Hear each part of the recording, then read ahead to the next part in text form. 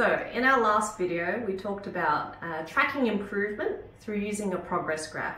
Now I'm going to go a bit more in depth about how we track that progress using key movement tests. When a client comes into our clinic with a condition, say for example a shoulder injury, uh, there's certain things they can and can't do.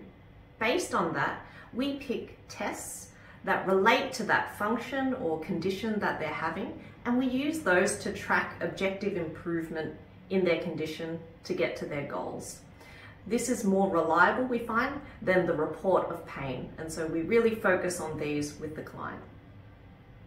So I'm going to use an example and I'm going to continue with the shoulder condition and I'm going to use Graham as my, uh, my client. And so when someone comes in with a shoulder condition, we test a few movements, uh, forward, out to the side. For the purposes of today, I'm just going to assess one movement and it's going to be hand behind the back. The reason I'm choosing this, it relates to the condition. So Graham's having trouble getting his wallet from his back pocket, tucking his shirt in behind into his pants. And so this is something that uh, will be very relevant to his function.